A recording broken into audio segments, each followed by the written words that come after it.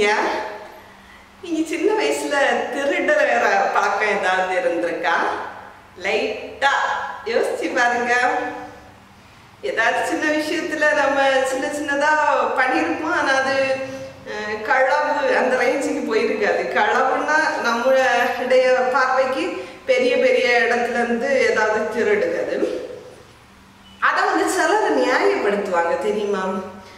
நம்ம முன்னோர்களே சொல்லியிருக்காரே சொல்லியிருக்காங்களே களவும் கற்று மர அப்படின்னு. அப்படி கேள்விப்பட்டிருக்கீங்களா?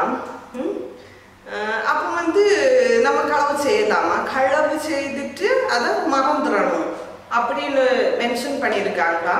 இல்லை எல்லா விஷயமும் தெரிஞ்சு வச்சிருக்கணும். அதுல வந்து தேவையில்லாத விஷயத்த வந்து மறந்துடணும் அந்த மாதிரி சொல்லியிருக்காங்களா?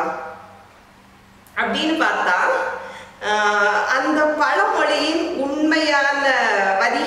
அப்படின்னா களவும் கத்தும் மர. களவும் கத்தும் மர. அப்படின்னா கத்து அப்படி அந்த வார்த்தையின் பொருள் வந்து பொய் பேசுதல். சரியா? ஸோ திருடுறதும் பொய் பேசுறதையும் மறந்துடணும் பண்ணிட்டு மறக்கணும். அப்படி இல்லை.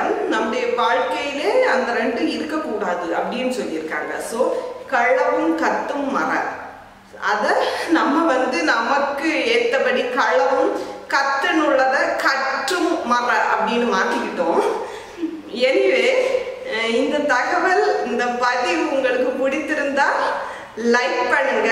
நீங்களும் மறக்காம களவும் கத்தும் நம்முடைய வாழ்க்கையிலிருந்து மறந்து விடுங்க. எனிவே இதை வந்து ஷேர் பண்ணுங்க.